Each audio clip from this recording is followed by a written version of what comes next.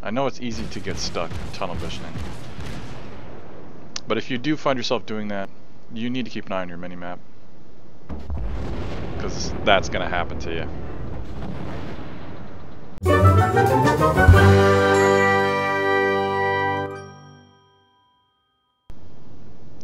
This is DezPlays, and welcome to World of Warships.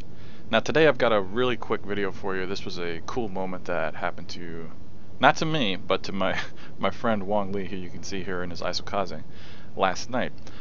I am in a division with him. I am also in an Isokaze, and as you can see from the scoreboard on the left, I am already dead, having done precisely zero damage in this battle. I think that might be an achievement for me. I don't, not sure that's ever happened to me before.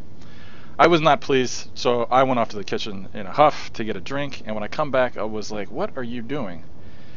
And he was like, I'm going to play chicken with a battleship. I was like, okay. Now looking at this, Isokaze has pretty good range on his torpedoes. I was like, alright, you going to launch? You going to launch? You to launch? Don't get too close. He can see you now. What are you doing? Uh, he pops smoke, but we talked about this in the in the Furutaka episode the other day. The if the smoke is behind you and you're moving towards your target, it's uh, it's not going to block you. You're gonna you see he keeps popping in and out of it. So I was like, all right, you're getting close. Launch your torps. I figured he was going to launch his torps there. No, he didn't. What are you doing, Wong? Launch your torps. Launch your torps. He's going to kill you. His secondaries are, are well within range. Launch your torps. There's an activation range. You're too close. What are you doing? I was like, don't launch them there. They're not going to activate before they uh, before you hit them. And I was like, what what was that? I just played chicken with a battleship in that voice that he has. And I was like, okay, but are you going to sink him? And he's like, yeah, I can turn. He can't.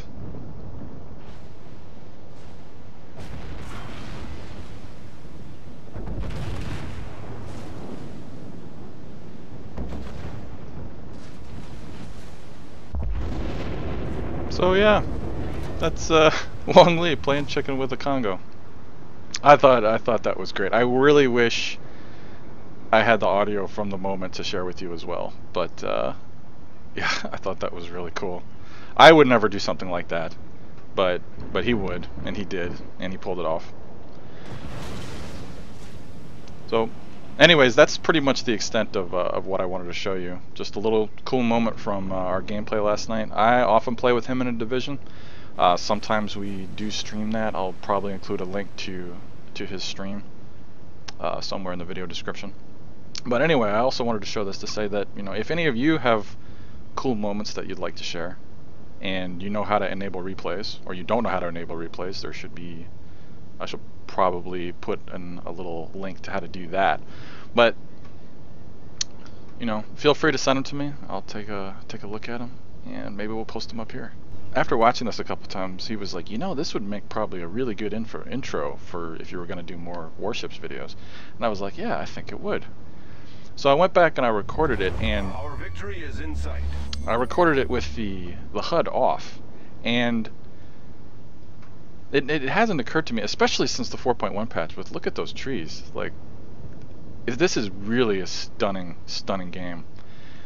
So anyway, I'm going to show you uh, a little clip of, of some of what I recorded last night, and I'm not even going to talk, because I think if I talk, it's going to ruin it. But uh, I'll just thank you right now for watching, and oh yeah, if uh, if you want to send me some of your some of your replays, if you got a cool moment or something to share, uh, you can do that at dezdicardo at gmail.com. So anyway, thank you for watching, and I will see you next time.